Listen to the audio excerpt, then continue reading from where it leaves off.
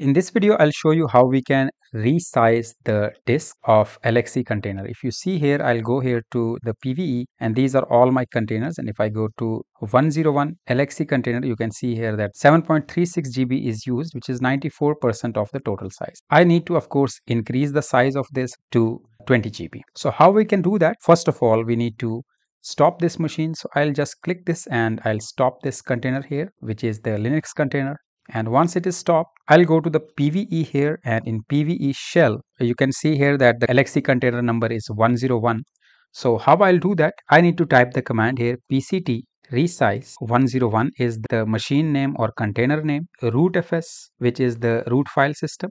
And its resize size will be 20 GB so we'll just type this command and wait for it you can see here that size of logical volume PVE VM101 disk 0 has been changed from 8 GB to 20 GB.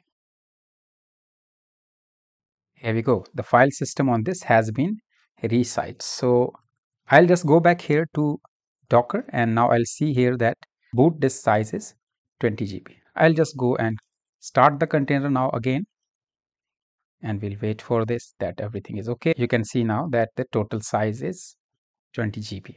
So this way you can increase the size. This will be working fine now. I'm using one CPU here. I can of course increase the CPU also here. We'll go back here to the resources and here I can change the core. Right now CPU core is 1. I can change it to 2 and okay.